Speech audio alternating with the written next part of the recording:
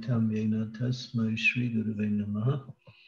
Shri Chaitanya Manobhistam Staptitam Yena Bhutale Swayam Rupa Kadamayam Swam Padantikam. Deham Shiguro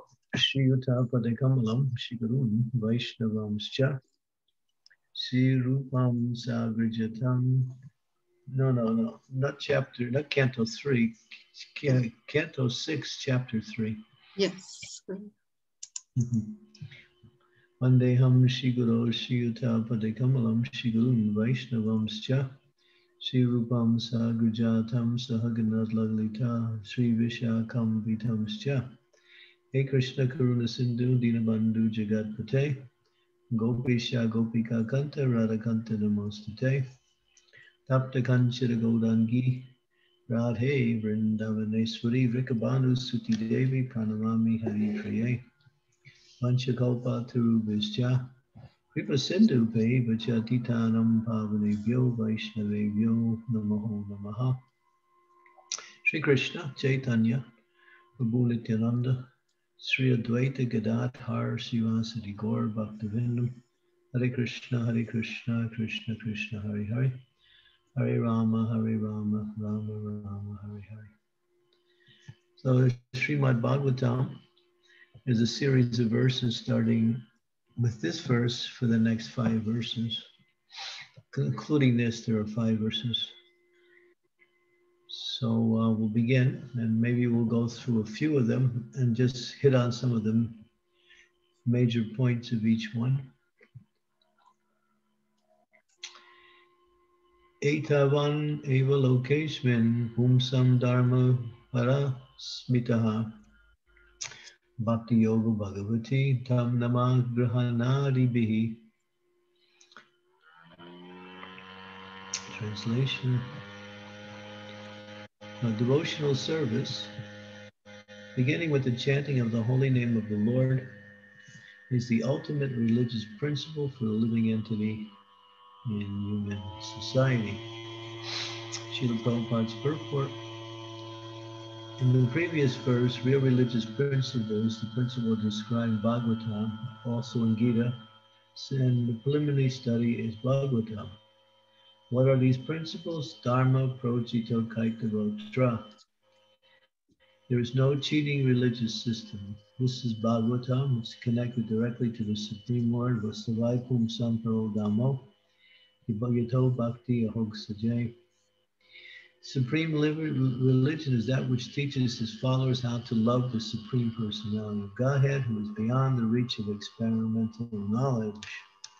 Such a religious system begins with Tam Nama Graha, Grahana, chanting of the holy name of the Lord, Kirtanam Vishnu Smartam Padasevanam. After chanting the holy name of the Lord and dancing in ecstasy, one gradually sees the form of the Lord, the pastimes of the Lord, and the transcendental qualities of the Lord. This way, one fully understands the situation of the personality of Godhead. One can understand to this, uh, one can come to this understanding of the Lord, how he descends into the material world, how he takes his birth, and what activities he performs. One can know this only by executing devotional service, as stated in the Bhagavad Gita, Bhakyamam Abhijananti. Simply by devotional service, one can understand everything about the Supreme Lord. If one fortunately understands the Supreme Lord in this way, the result is Taktva Deham Purna Janmani Naiti. After giving up this material body, he no longer has to take birth in the material world. He returns back to Godhead. This is the ultimate perfection. Krishna says in Gita 8.15, Mamopetya purna janma dukalayam ashashvatam napnuvanti mahatmanaham samsiddhim paramam gata. After attaining me, the great souls who are yogis in devotion never return to this temporary world, which is full of miseries because they have attained high, the highest perfection. So there is two essential principles here. Actually, there, there are more than two, but there are two essential ones. Is that out of all the processes, in existence, mm, the, the uh, execution of what is called bhakti yoga, also known as devotional service, also known as Sanatan Dharma, um, is the means by which one can attain perfection of life. Sometimes people mistakenly conclude that there is no goal in life, and one, the only goal of life you have is what goal that you uh, describe for yourself. So each individual can describe their own goal in life, and then that becomes their goal. So they don't uh, think that there is a particular goal of life because people are acting in, in different ways and living in different situations and striving for different uh, uh, benefits or successes. But actually, uh, everything is beyond the phenomenal material existence. Phenomenal material existence is a mixture of the energies of the Lord, known as passion, goodness, and ignorance, which pushes the living entity to think and act in a certain way in order, and then to desire accordingly, and to try to get the benefit of that desire through those activities. But there's an activity that is meant as the foundation to bring success to all the ones of activity, and that is loving service to the Supreme Personality of Godhead. This loving service is natural because of our actual connection with the Lord. Although we appear to be disconnected from the Lord, although we appear to be somewhat distant from the Lord, although it, it, it appears to the conditioned souls that the Lord and us are separated, none of these, th- these things are just appearances. We are never separated from the Lord. We are always connected from the Lord. And there's no question of being distanced because Krishna is there within our heart.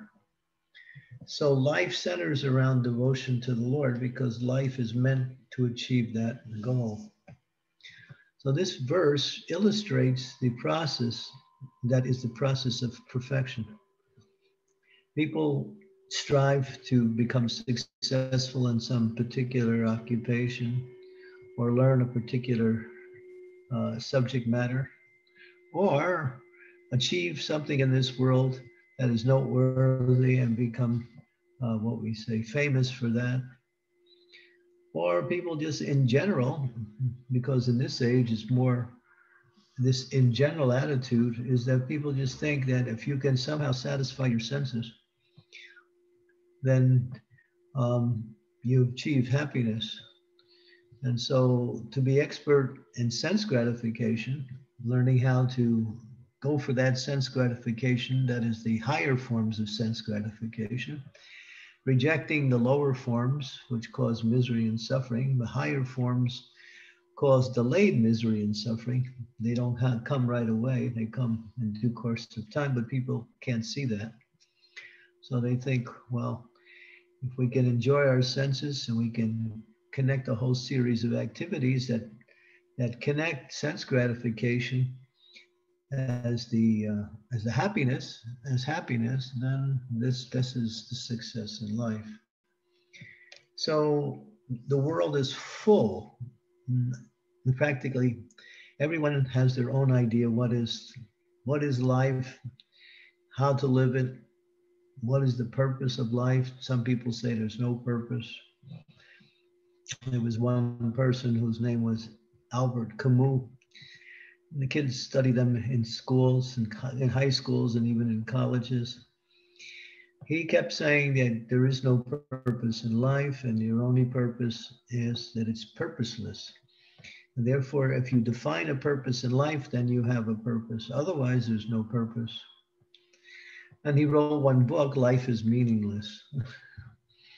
and uh, he wound up committing suicide. That was his uh, you know, end result of his philosophy. He saw everything was useless. But you have to understand one thing that even though it seems he's quite ridiculous, he understood one thing he understood that material life is useless or has no real goal and purpose, but he couldn't understand that there is something beyond material life. And therefore, uh, he turned into being a, a nihilist. They call it nihilism, nihilism, where everything is just void. And if you can enjoy, that's nice, but you can't enjoy all the time because it's obvious. So everyone has these uh, concocted ideas of what the goal of life is. But you have to hear the goal of life from an authority, and then you have to find that authority that is the that is the acceptable authority. So unless people accept God, there's some people who don't accept God, they'll never accept any authority. And if they do accept an authority, it's something that suits their desires for happiness in this world. But there is a supreme authority, and that is Krishna, the supreme personality of God. Whether you call him Krishna or call him any other form, name that indicates the supreme, it, one has to receive knowledge from, from that source. And that source is the source of all other sources of knowledge. And so when one can find that one one can one can find someone who connects to that original source, that source is also bona fide. And that is the great saints and the great spiritual teachers. And therefore, they all conclude simultaneously and they co- collaborate with each other that the goal of life is to know God and to love God. That is the actual goal of life because we can see even on this level, people are interested in gaining knowledge. So through that knowledge, they, they gain some kind of uh, success in life, or they actually develop a type, type of intellect that allows them to move through life with less amounts of suffering. And then we see that beyond knowledge, there's another principle that is called love. So everyone is trying to find love. Most people don't know what love is. They think love is uh, satisfying your senses in relationship to someone else who's doing the same thing. And they call that love. The attraction for my own sense gratification uh, comes in the form of finding someone who is of the same nature. And then we both try to satisfy each other's senses. And because we are attracted to each other in, in order to satisfy our own senses, they call that love but the scriptures give it a different name because it's it's personally motivated. It is not love, but it, it is called. Kam in Sanskrit simply means lust or selfishness. So selfishness and love are two opposite principles. So real love comes when one finds the source of love, and that is that same source is the source of everything else, and that is the Supreme Lord. Then one can uh, begin to awaken that desire to love, because the desire to love is there. As Srila Prabhupada would often say, if a person will try to love something not even uh, animate, the, the I love my country, so, what is that supposed to mean? It's kind of a nebulous de- definition that doesn't really have any clear understanding. Well, what is this idea of country? Well, the place I live in. So, I love my place of birth. But then again, there's so much variety in that place that how can you define it in one particular way? You can't. So, you call it a country or nation or something. Oh, I love my community, people of the same culture as me people of the same ethnic uh, categories as me. And so people have different, or in family, because I have produced children. Um, I love my children because they are an extension of my body and therefore they're coming from me. And uh, I produce them in order to experience happiness in relationship to um, other living entities who are coming from me and therefore one starts to see themselves through their children. This happens as you get older. One lives through their children and sees their children more or less as an expression of their own desires. So then they start to love in that way. So this loving propensity, and then of course you can take it farther, as Srila Prabhupada does, that one can love, like try to love animals, such as dogs and cats and you know rabbits and other things. So people develop an affection. You'll see even sometime when people die, if they have a dog or something, they leave a large amount of money to the dog. So the dog has a has good care when they leave. He's not neglected. The dog has gets all kinds of nice things. And people have left their, their some of their uh, some of their equity to the to dogs, cats, and other places, or they love a particular type of uh, experience in life. Like I know one lady, one devotee, his mother, she she was very attracted to opera so when she she before she died, she willed a large part of her estate to one opera house so they can continue their opera programs. You know, so people have this attraction to things. But real love means to repose your one's affection in one particular living being. And love comes through the principle of service. So by serving the Lord, we get to know the Lord, and as we get to know the Lord, we get to we get to attract we get attracted by the Lord. As the attraction create, increases, we want to hear more about the Lord, and through hearing that attraction very strongly and continues to develop, where that attraction turns into affection because although we don't know, we appear not to know anything about the Lord, still the Lord is situated within our existence as an eternal factor of our of our life. And what we're doing, we're uncovering this hidden treasure of our own love for, for God who's situated within our own heart. And as that infection reaches a certain level of, of um, intensity, it turns into pure love. And the expression of love is service. Expression of love is service to please the beloved. We see that every day when people want to uh, do something to show their concern, their love, their anything towards another person. They'll figure out what that person needs or what that person likes, and they'll do something in that way. And these are indications of love. When it's done without any desire for personal reciprocation, then it's, it, it comes to the level of purity. But when it's done with motivation to get something, even if you want recognition from that, then it's tinged. And then it's no longer really love itself, because love is selfless. And so to love Krishna is natural because that is our nature. Nature, when we say nature, we say spiritual nature. So then the question is how to awaken that love.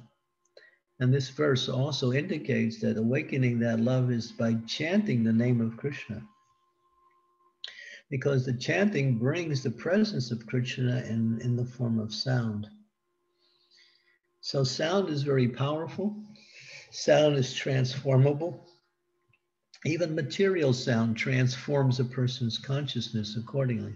When you hear music, you feel light, if it's music in the mode of goodness, if you hear music in the mode of passion, it inspires you to, uh, your lusty desires become stronger and your consciousness changes in that direction. And if you hear uh, music in the mode of ignorance, you feel unhappy. So, sound, and of course, if you live in a noisy place, and that noise is continuous, like I know some places are like that, and then one feels disturbed all the time because the sound vibration uh, is con- continuously coming in. So one develops a particular consciousness accordingly. So, but transcendental sound vibration and chanting the holy name directly connects one to the spiritual platform. Um, I have to let my assistant in. He's knocking out my door. I'll be right back.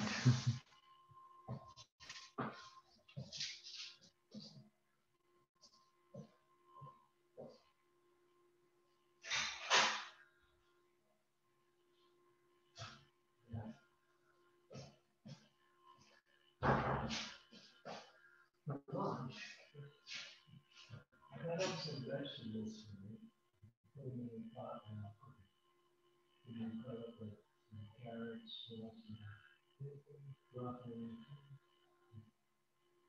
You know, how about maybe a few potatoes, potatoes and broccoli, carrots in the pot, raw.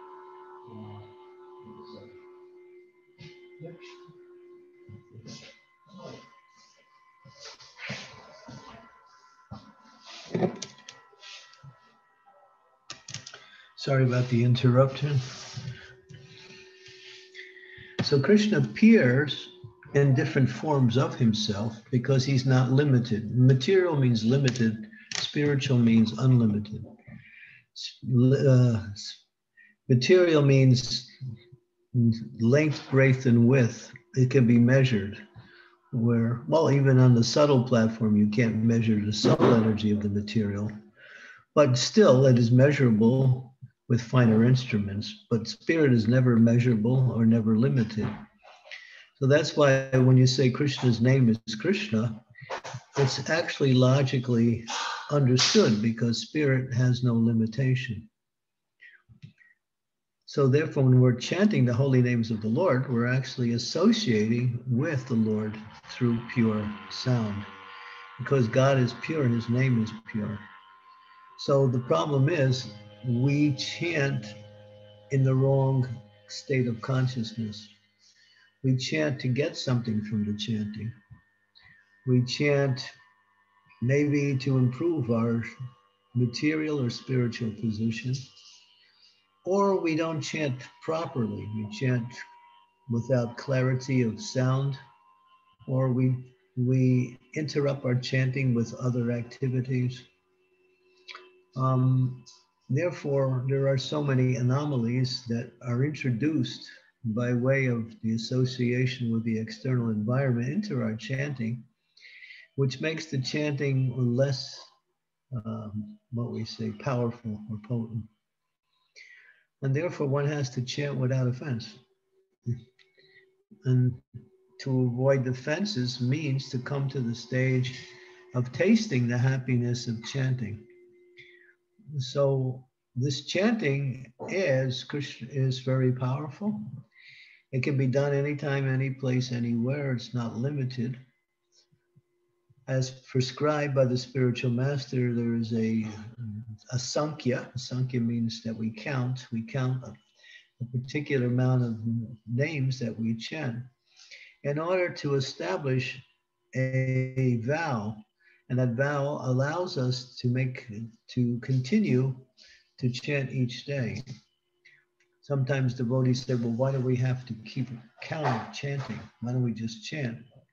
Well, you can do that, but generally when you make a vow, then you then you're chanting every day at a regular number. And this regular number of chanting allows you to increase the quality of your chanting.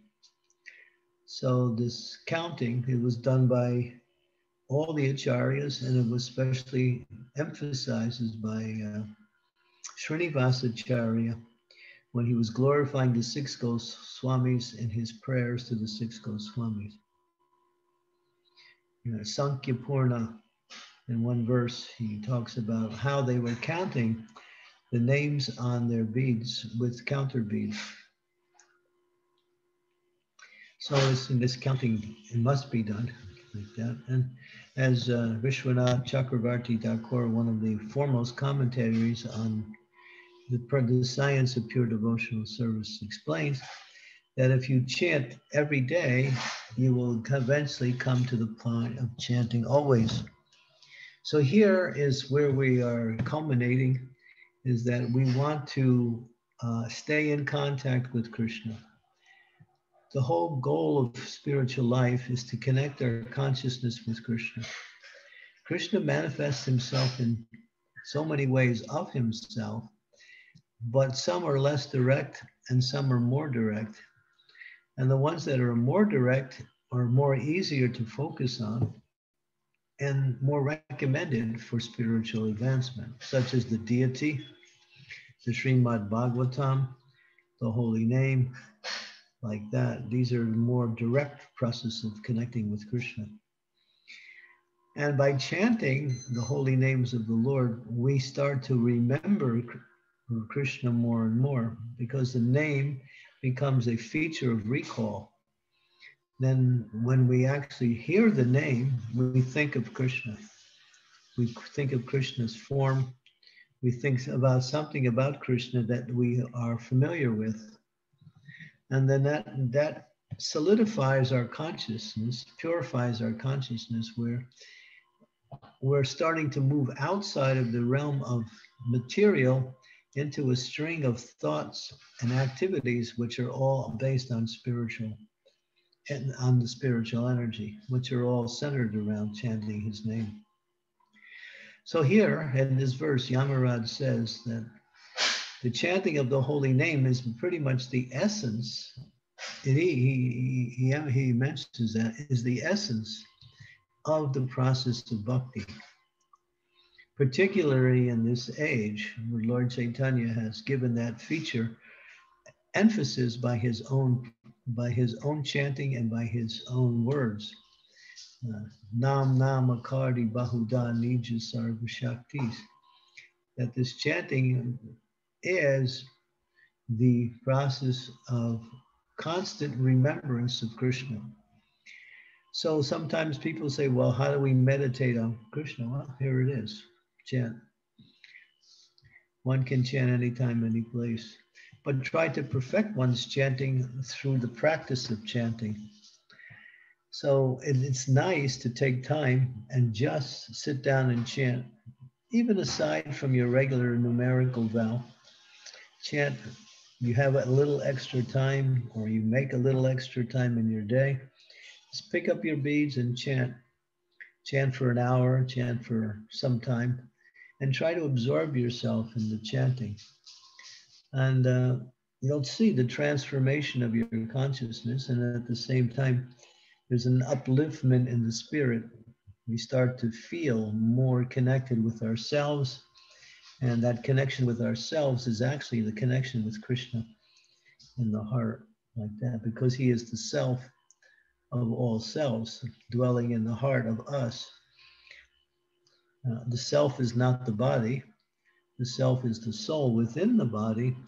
And therefore, the self, the self contains another person, and that is Krishna, known as Antaryami, or indwelling feature of the Lord within the heart or on the heart. The soul exists within the body on the heart. That's why we say love for God is coming from the soul because the soul is situated right on the heart. It's in that area, that region of the body where. Uh, uh, so that's why when people want to show love, they talk about heart emotions rising from that section.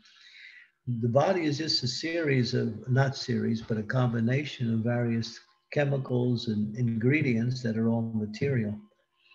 So even if you put them all together, you can't create emotions. Emotions are coming from the soul because the soul is sentient and pure and is not divided into itself. It is a whole spiritual entity which has a natural loving propensity to the, for the Lord. So when that propensity comes out from the soul area, which is in near the heart, and is directed towards material things, then we find we find attraction or affection for those things. But when it's directed towards Krishna, then it becomes fully developed in its natural state.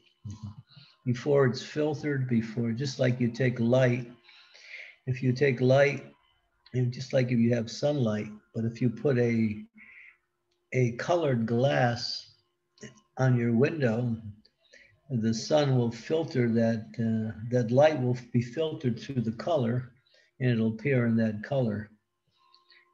But if you have the clear glass, then the glass, then you see the you see the light as it is. So in the same way, that light, which is our natural love for Krishna, comes through when we direct that that love towards Krishna. it's meant for Krishna, and when it's directed towards Krishna, we we get to we get to connect with Krishna or we get to realize Krishna.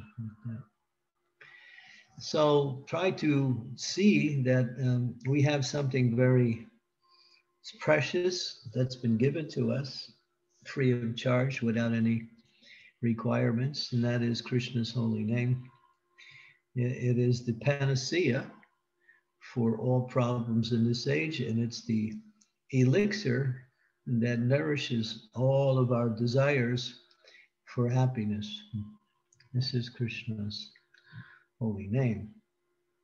And so, as Bhakti Vinod, and it says that uh, Sanatan Goswami writes that actually one doesn't even look towards any other form of worship, such as meditations or various types of worships, as mentioned, when they are connected nicely with the holy name. The, the holy name becomes their worship their sadhana, it becomes their sadhana, it becomes their seva, it becomes their sadhya. All three are found, are connected when one becomes attracted to chanting the Hare Krishna Mahamantra.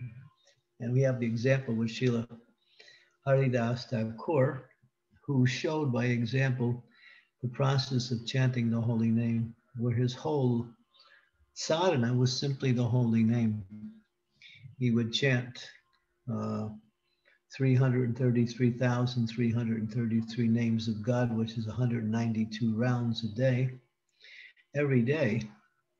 And because he was so attracted to the holy name, he had developed a purity in chanting. And that purity means that he was spontaneously ch- chanting the holy names.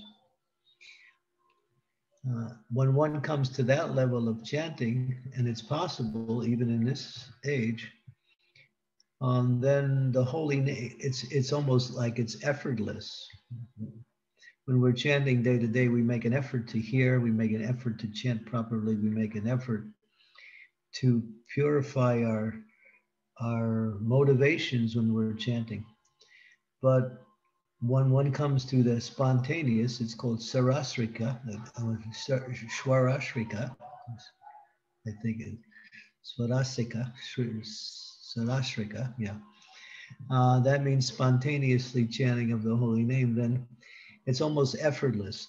The name just keeps coming, and one is chanting, but the name is actually doing everything. As it's mentioned, there are there are three people involved when you chant you, the soul, Krishna, the Supreme Lord, and the Holy Name. All three are there. There's a distinction made between Krishna and his holy name. And it says that the three dance together. It's like a uh, it's like a transcendental experience of happiness where Krishna is there, Krishna's name is there. Both are the same, but both are distinct in one sense because the holy name is coming through the mercy of Krishna. And it's Krishna also, but he appears in his holy name. So, but he's giving his holy name also. So there is a distinction for the sake of explanation only. That's the only reason for the distinction. And then there's us who is receiving the sound vibration.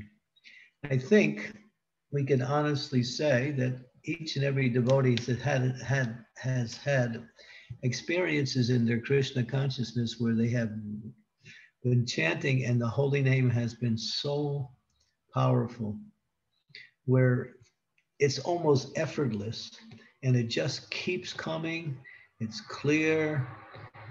It's even even if you're not saying it audibly, you can hear it in your mind. It keeps coming. It just keeps coming.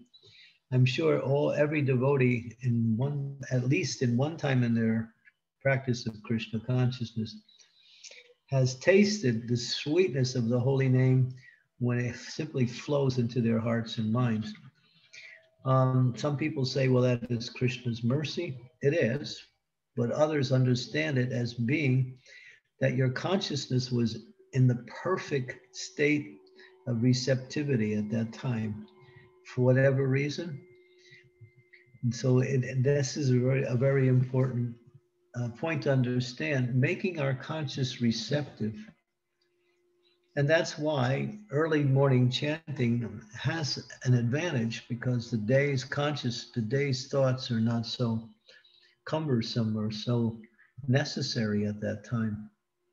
So it may, that's why we chant early in the morning, because we're more receptive to the sound vibration. So simply practice, practice, practice, and chant more and chant always.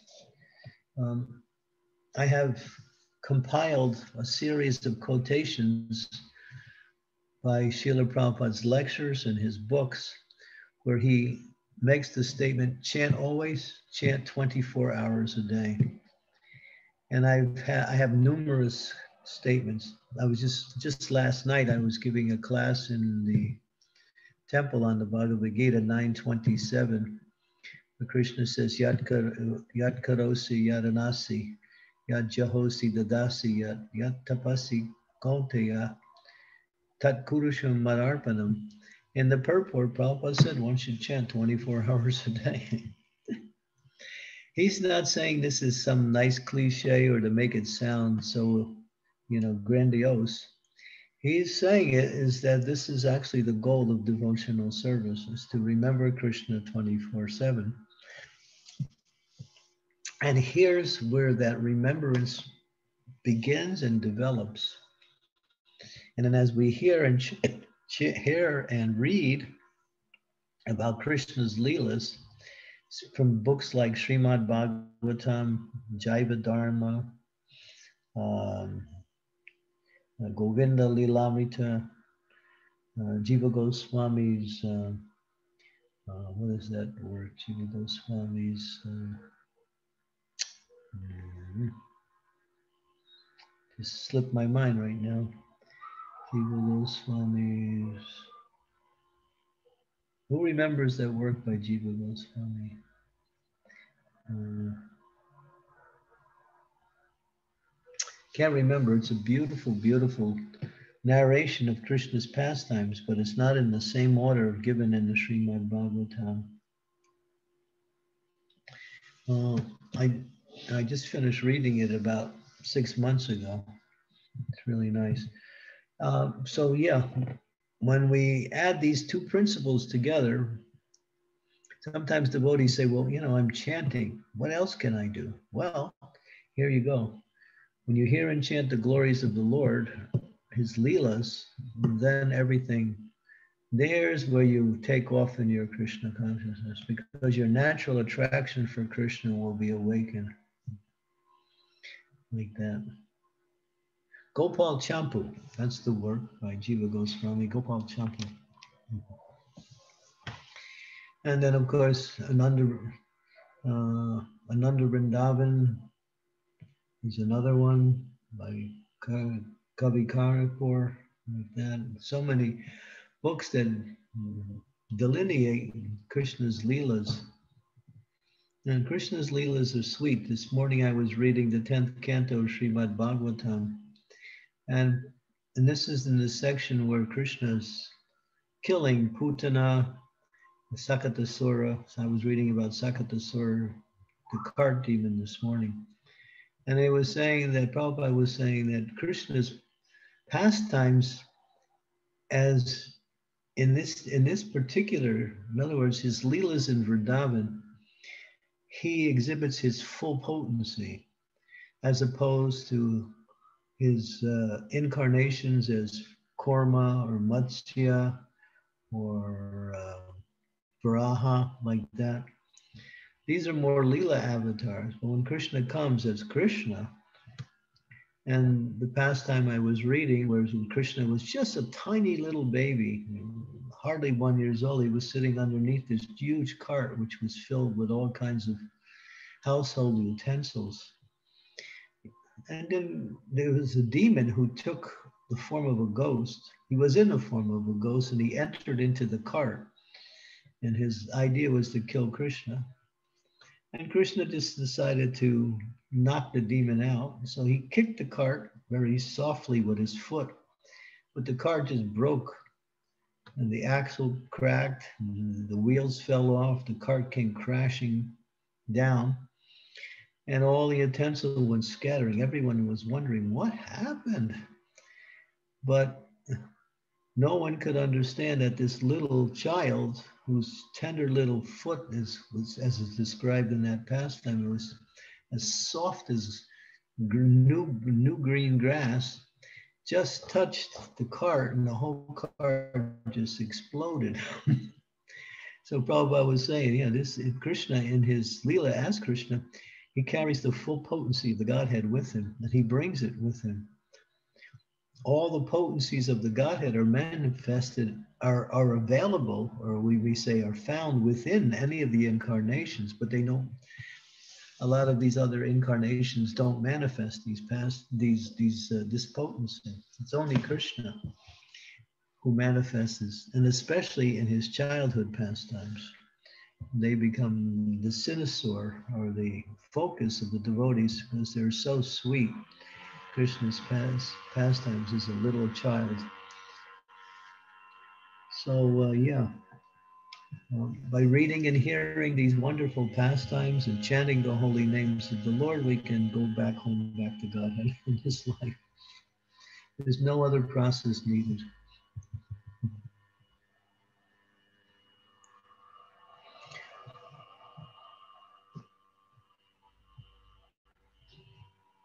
Hare Krishna. Jai Gurudev, thank you so much it was such a wonderful verse, uh, and you talked about uh, uncovering the treasure of uh, our own love uh, within our hearts. I personally found so many points to talk about chanting to new people today. So, um, thank you so much. Um, Hare Krishna. Dear devotees, if you have, uh, please unmute yourselves to ask any questions or share your realizations. Thank you. Hare Krishna.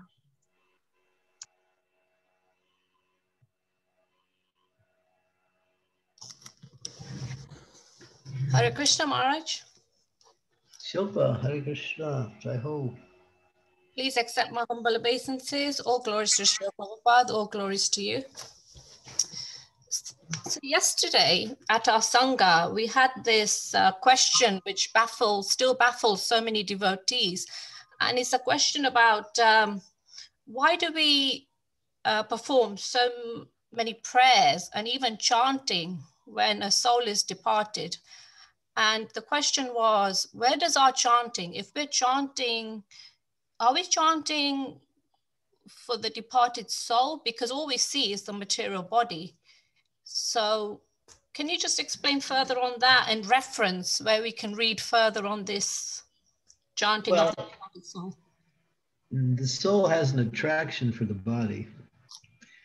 So when the body is gone, the soul sometimes hovers around the body and stays there and wants to re-enter into the body. So one of the reasons, one of the main reasons is to move the soul on to its next destination. Yeah and there's been experiences like that where a soul can't move on because it is still trying to get back in the same body it left because of its attachments. So to ensure that that soul moves to its next destination, especially in, in we call in devotional circles, we chant, and and that chanting helps that soul to move on to where it's supposed to go.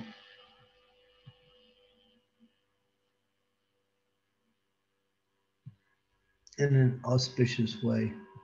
Mm-hmm.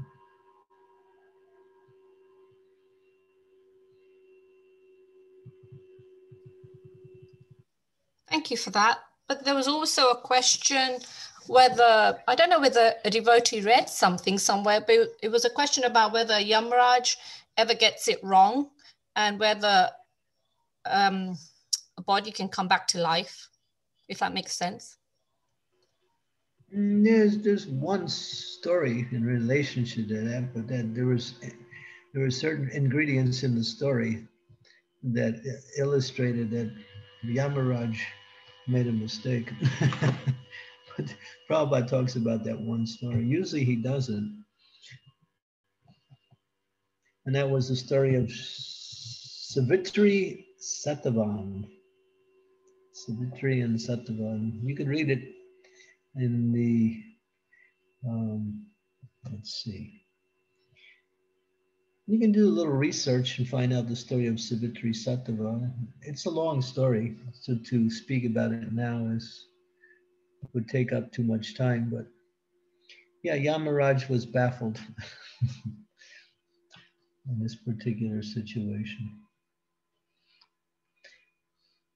So the story centers around someone trying to beat death, Mm-hmm. but nobody can beat death because death is as the all powerful force. But the only ones who can beat death are devotees because they can, devotees don't die, they just simply transform their existence to another, to a higher existence. That's all. Death is for the non devotees because they live for the body, therefore they die. One who doesn't live for the body doesn't die.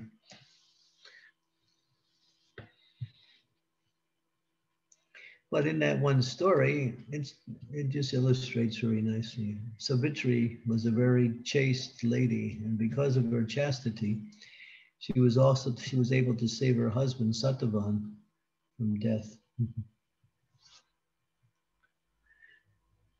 that describes the benefit of having a chaste wife. chaste wife can save her husband from so many problems, calamities even from death.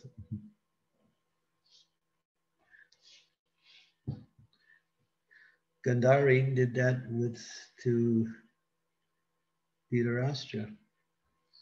Because of her chastity, she actually saved her husband Dhritarashtra. Mm-hmm.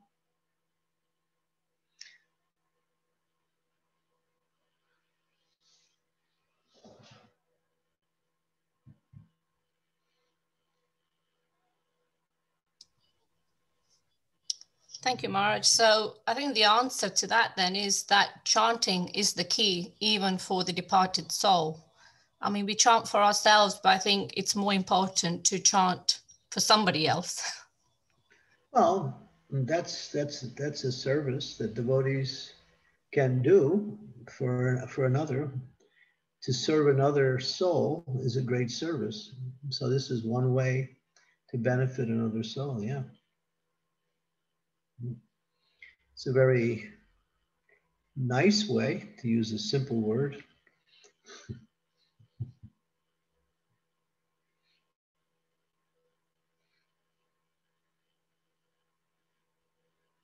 yeah, benefiting others is the nature of a human being.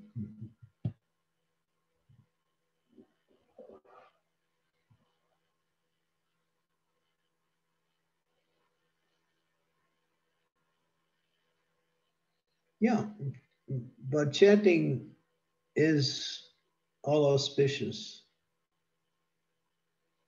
Whenever there's chanting and whenever there's pure chanting, the whole atmosphere is transformed. Mm-hmm.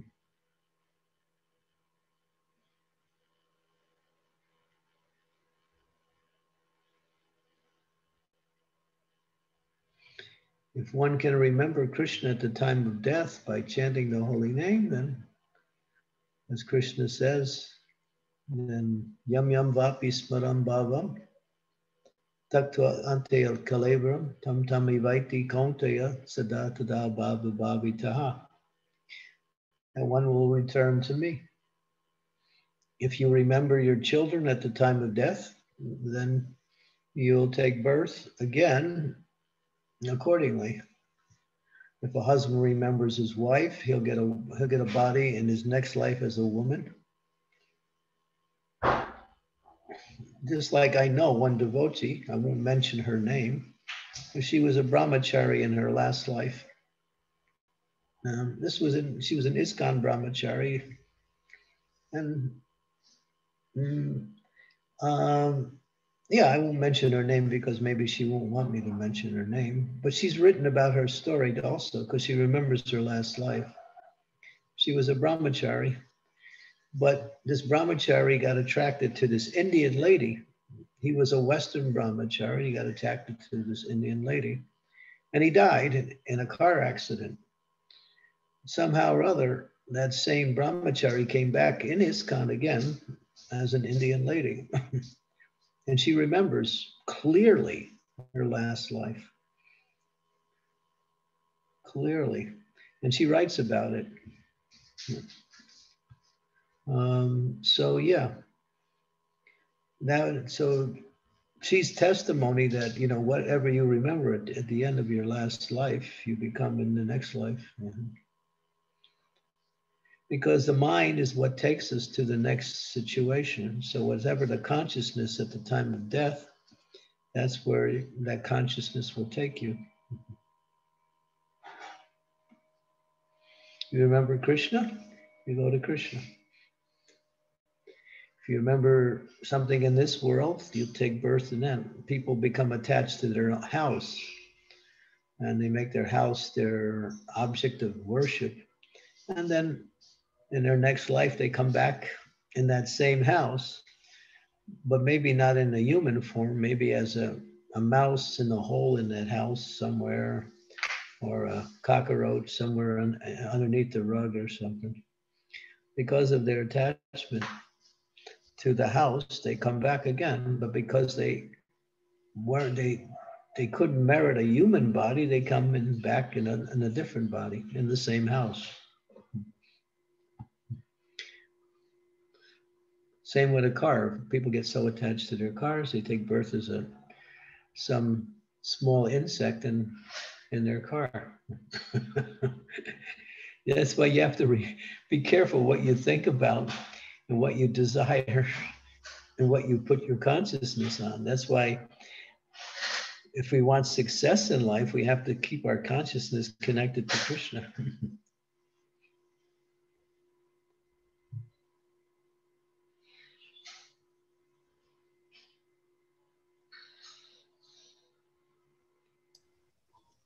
Thank you, Maharaj. Further reading, Maharaj, what would you recommend on this subject? Specifically, uh, what is your topic? What focus do you want me to? It was just something to take back to Sangha, really. Uh, more about this uh, passing of the body and uh, the journey, really, and what we're praying for. Oh, well, the soul's you know there's there's verses in the, in Bhagavad Gita, there's verses in Srimad Bhagavatam.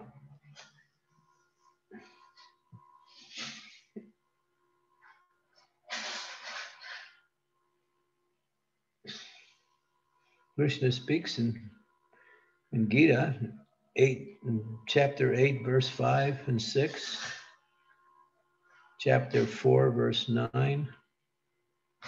In Srimad Bhagavatam, uh, there are many verses. It illustrates, you know, where you go to your next life depending on your consciousness.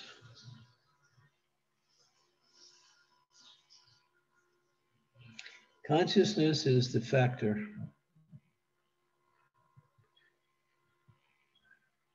What you think about is what you become like.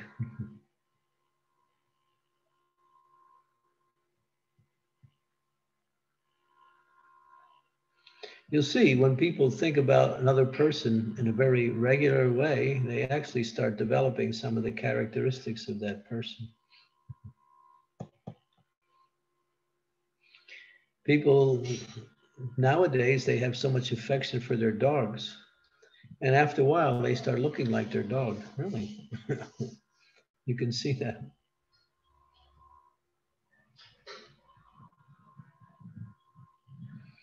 So you get even a transformation on the physical level when you get absorbed in something.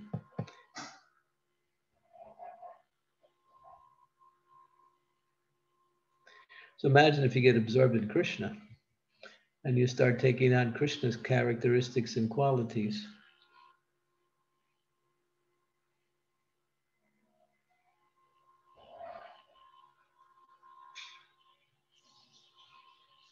An apparently unattractive person, when they become Krishna conscious, they become attractive automatically.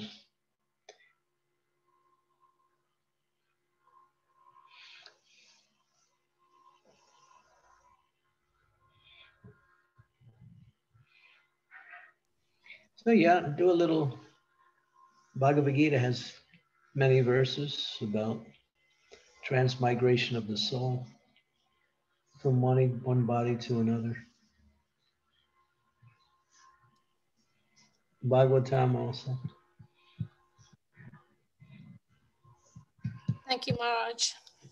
Hare Krishna. Audible. Thank you for sending your nice gifts. Jai Ho. You're welcome, Maharaj. Mm -hmm.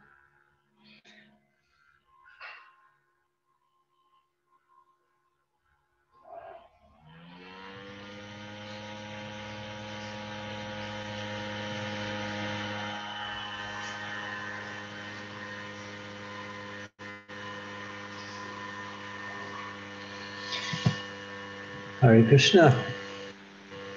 Gurudev, I have a question. Um, you said uh, about Sanatan Goswami um, that um, he he said holy name is the only worship, and it and holy name became his sadhana, seva, and sadhya. Yeah. Um, so, um, could you talk more on that? Um, because sadhya is the uh, it becomes his goal you mean? Yeah.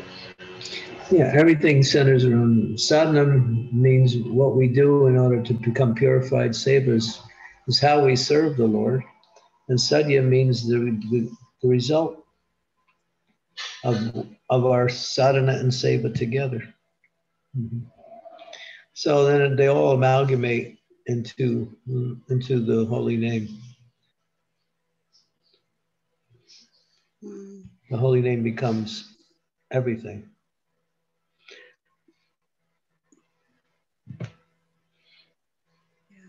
The example is Srila Haridas Thakur. He's the prime example of that.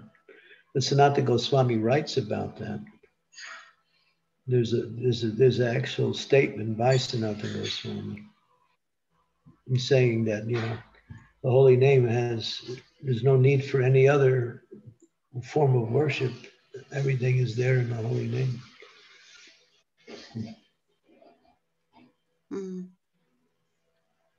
But uh, we need for other forms of worship as we progress towards perfection in the holy name. So that's why Prabhupada gave us the whole process, which is a variety of spiritual activities. These things help to purify our consciousness so we can actually chant the holy name. But when you get to the stage of spontaneous chanting, that's all you do. You just chant.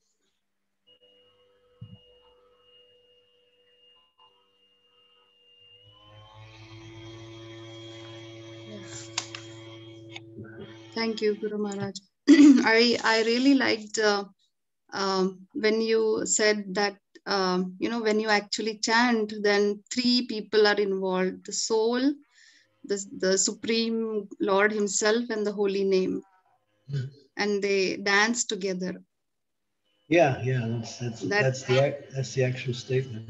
Yeah, that's very be beautiful, very nice. I, I remember my grandfather used to say when I was little that when you chant Vitthal, uh, Vitthal is actually dancing on your tongue. Um, but you can't see it. When you grow, you will see it. So we would just chant. he, he was chanting Vittala Vittala? Yes, Gurudev, yes. Hmm.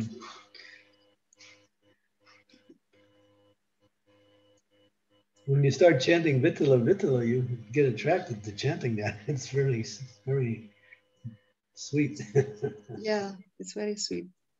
Yeah, I spent a, a quality time with uh, Lokanath Swami and both in uh, in Pandharpur and in uh, what's the other place where he's now based? Uh,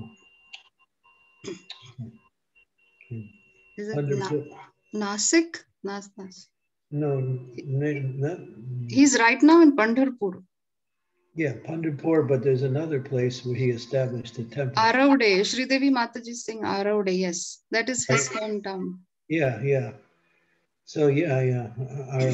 Our, our, yeah. Yeah, so I spent quality time there, and Maharaj, she has a real attraction for Vittala. Yes. Mm-hmm.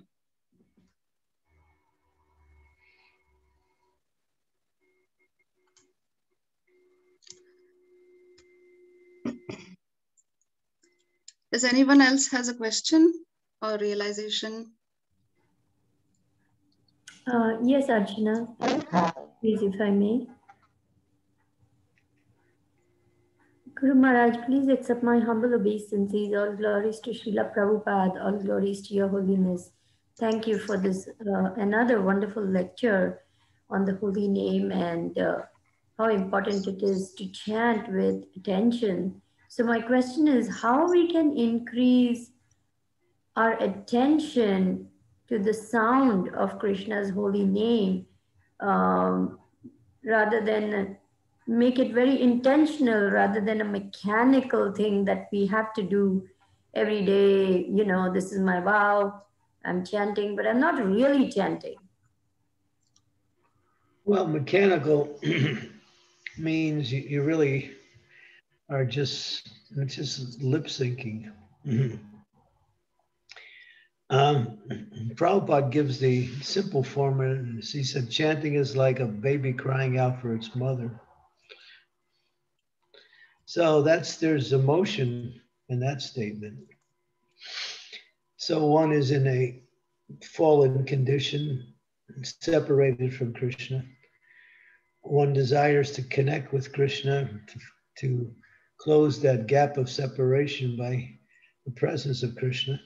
So one calls to Krishna. So chanting is like calling. In fact, the whole mantra is in the mood of evocative. It's calling out to Krishna. Hare is is the is invocative. Hare Krishna, Hare Krishna, Krishna Krishna, Hare Hare. Hare Rama, Hare Rama, Rama Rama, Hare Hare. Hmm.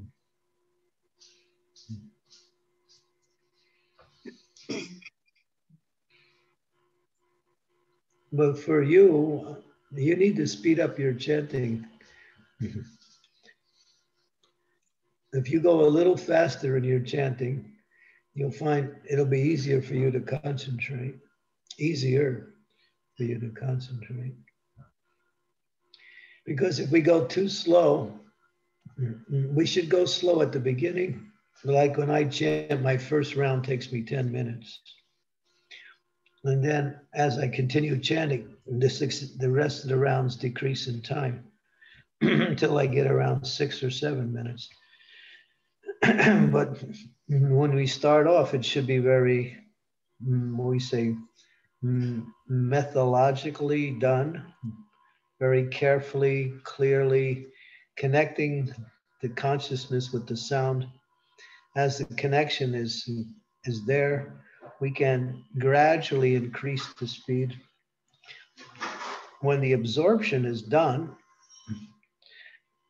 at the very beginning, it becomes easier to naturally increase your speed when we get interrupted. So, your very beginning of your chanting is really your most important part because it sets the stage for the rest of the rounds.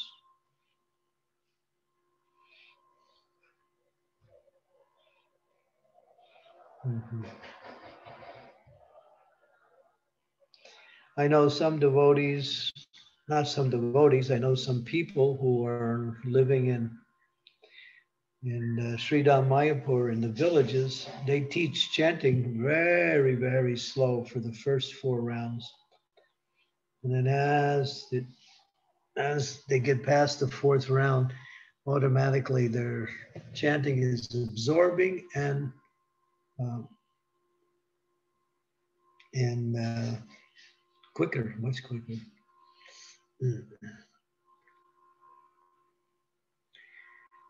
The idea is to get absorbed. And if you go too slow, of course, you can go slow at the beginning, but if you continue on that slow pace and going in and out of consciousness, you'll find it, you, your chanting will become more mechanical. Mm-hmm. You always have to be watching and be how much aware you how how much you're hearing the sound.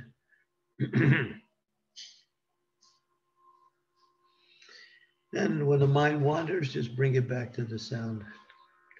Don't allow it to wander. Even if it appears to be some important thing that you need to sort out in your life, you can do it later.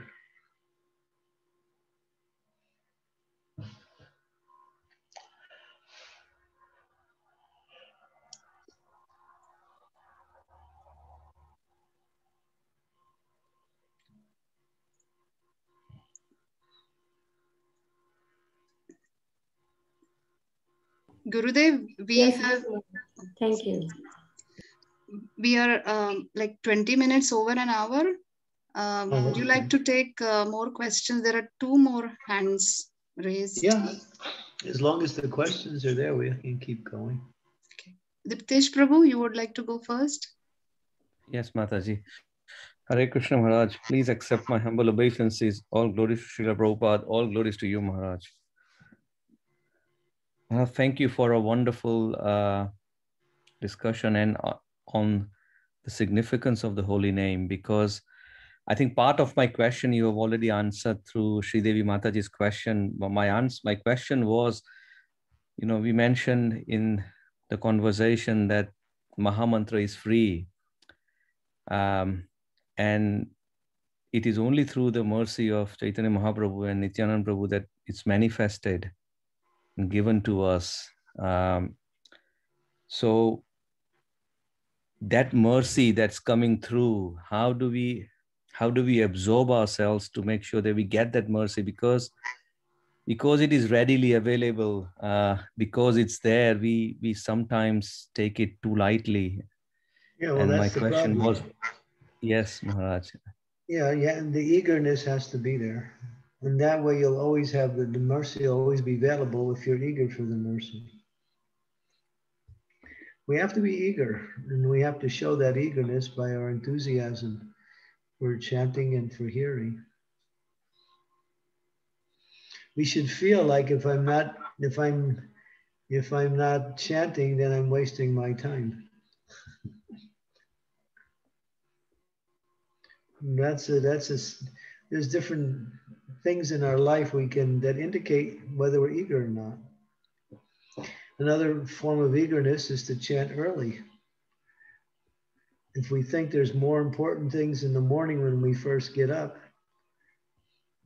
then our eagerness is, is marginalized.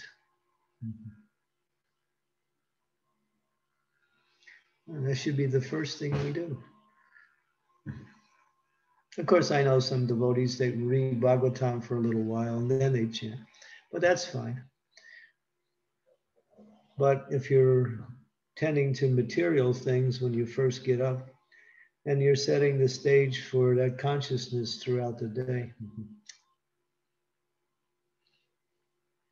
So that's one of the ways to remain eager or to show eagerness is chant early, to read about the holy name and the glories of the holy name. That's another form of eagerness, which brings about Gaura Nitai's mercy. To take the holy name and give it to others. That's another form of eagerness. So we can show our, our eagerness in different ways. And then we're guaranteed that there will always be mercy available.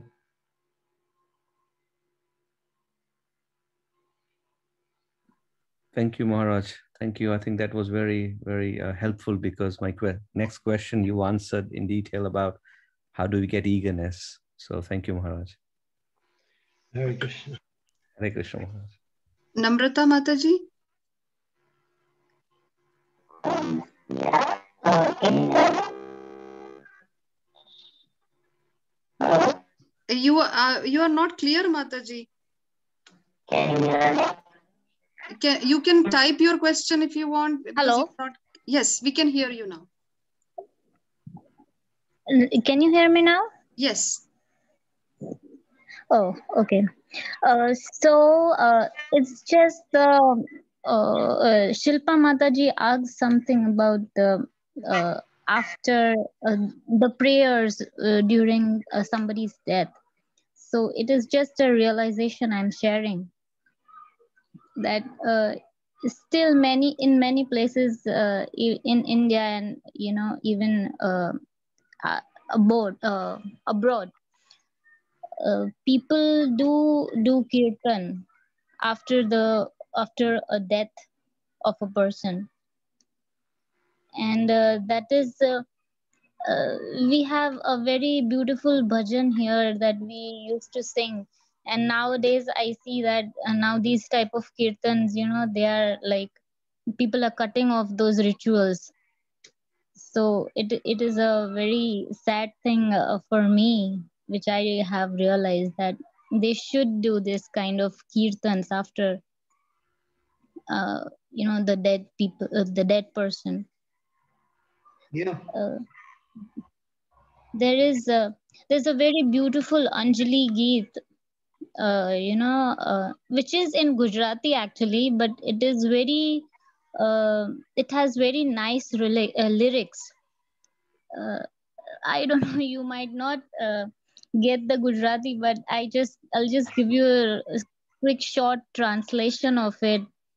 That the that is a kind of geet or a bhajan you say that we sing after that person, after that soul it says, with two hands joined together for the departed soul, that it may attain your lotus feet. That is only what we pray from the bottom of our heart. Uh, through, uh, through his, means uh, the person's karma, through his own own karma, in whatever kul uh, it may be reborn,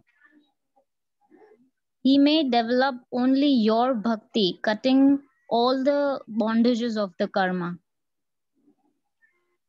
We don't pray for the moksha of that soul, or we don't pray for the for his pleasures in the Swargaloka, but we just pray for a rare uh, body of a bhakta that he uh, attain and get a chance to see your original form in his own uh, in his heart.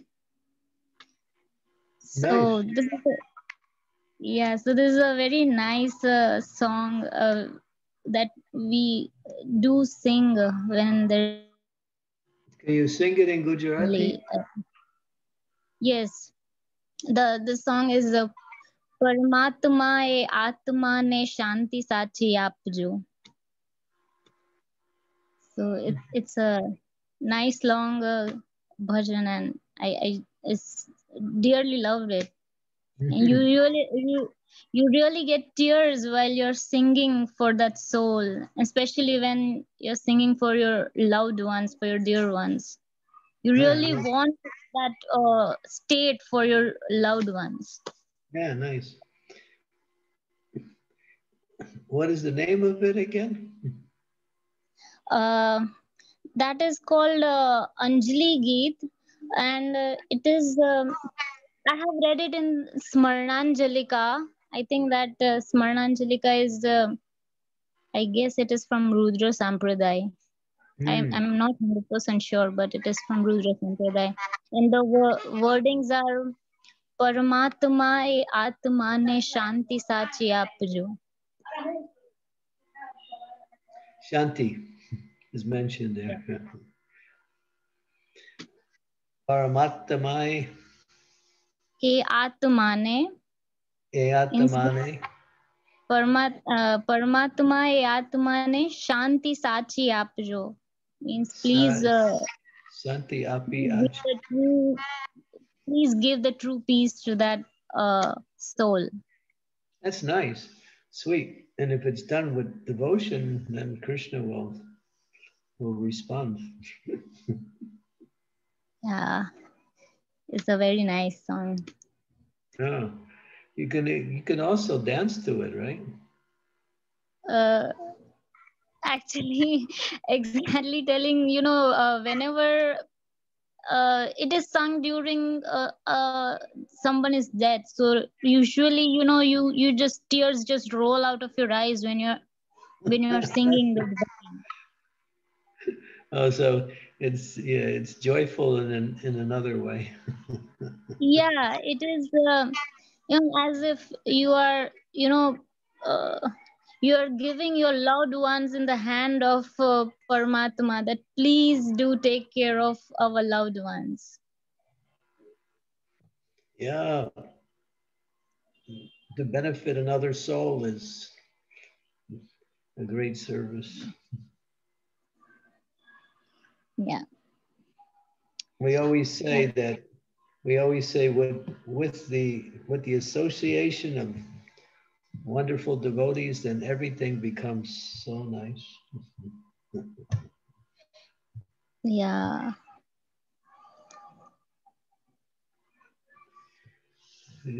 Thank you, Namrata. Yeah, thank you, Maharaj. Hare Krishna. Hare Krishna.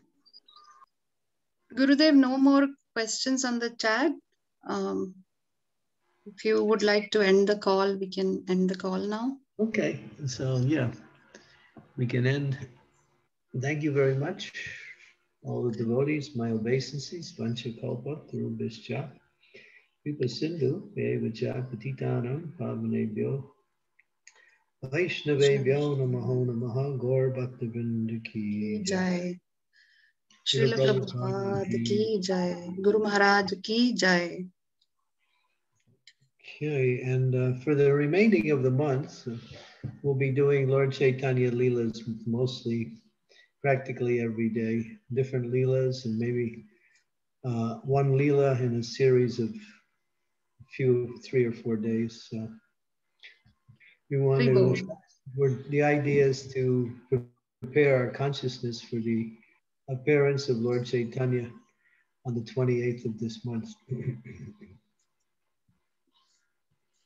Hari Bol. Thank you, Gurudev. Hare Krishna. Archana City Ki Jai. No, Gurudev. Hare Krishna. Hare Krishna, Guru Maharaj.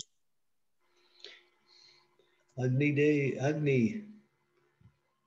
Agni. Agni. Hare Bol, Gurudev. How is Radha Kunja Bihari? They are wonderful. they are very merciful.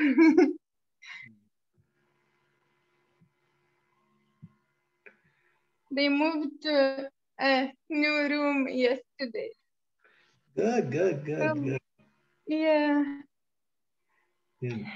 Did you have a we, uh, Did you have a housewarming ceremony when you moved to your new house?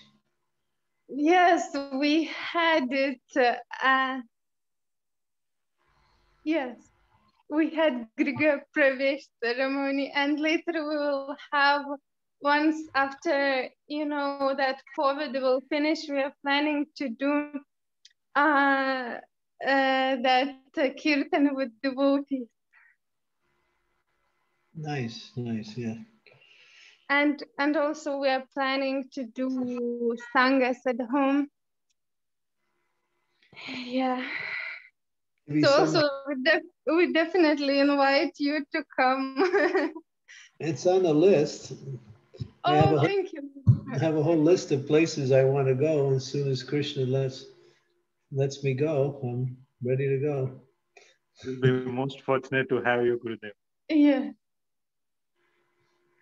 It'll be an experience for me. Uh, Thank you. Hare Krishna. Hare Hare Krishna. Krishna.